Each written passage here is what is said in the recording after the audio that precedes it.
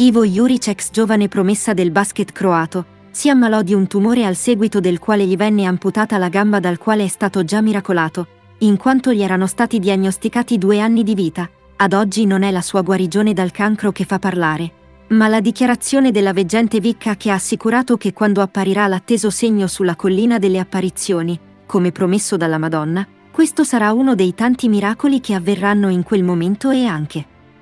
La gamba di Ivo Juric ricrescerà miracolosamente. Ivo Juric e Meggiugorie, la Madonna promette che la sua gamba ricrescerà. Che la Madonna lo guarirà senza nessuna condizione, dopo il segno promesso.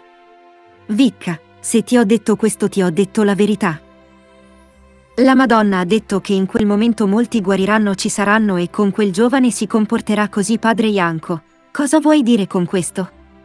Vicca, lui quasi tutti i giorni veniva alle apparizioni della Madonna e la Madonna ha dimostrato di amarlo particolarmente. Padre Ianco, come lo sai? Vicca, ecco come. In un'occasione, poco prima del Natale del primo anno, ci ha fatto vedere la sua gamba malata. Ha tolto via dalla gamba la parte artificiale, di plastica, e al suo posto ci ha mostrato la gamba sana. Padre Ianco, perché questo?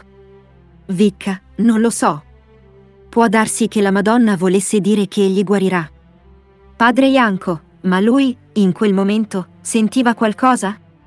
Vicca, dopo ci ha detto che gli sembrava che qualcuno lo toccasse sulla testa.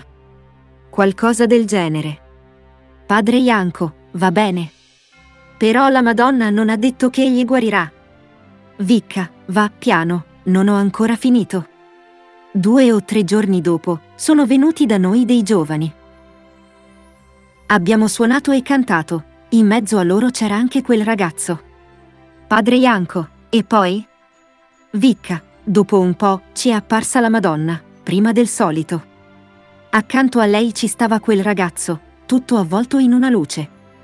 Lui non lo sapeva, però ci ha detto, subito dopo, che durante l'apparizione sentiva qualcosa, come una corrente elettrica che gli passava attraverso la gamba. Padre Ianco, attraverso quale gamba? Vicca, quella malata. Padre Ianco, e poi? Vicca, ti ho detto quello che sapevo. Padre Ianco, però non mi hai detto se la gamba guarirà o no. Vicca, la Madonna ci ha detto di sì, ma più tardi. Padre Ianco, quando? Vicca, dopo che ci darà il suo segno, allora egli guarirà completamente. Questo ce lo ha detto verso la metà del 1982.